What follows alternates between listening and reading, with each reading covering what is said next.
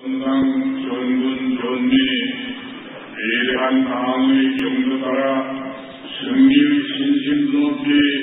인민생활 향상과 강경대구 건설에서 결정적 전환을 일으키기 위한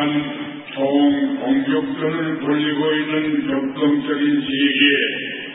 선군 청년 총동원대회가 열리었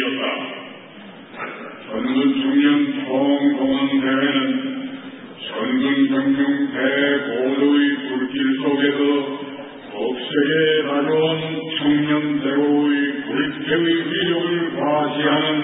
뜻깊은 대회이며 청년 정의들을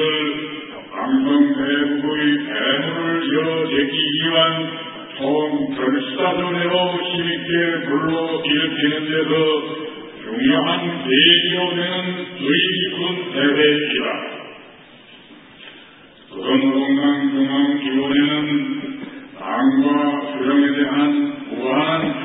정성과 숭고한 애국적 건신성을 지니고 피 끓는 청춘을 바쳐 배보도 진군에서 영적 기분을 펼쳐 나가고 있는 대참가자들과 온 나라 전체 청년들에게 열렬한 축하를 보낸다.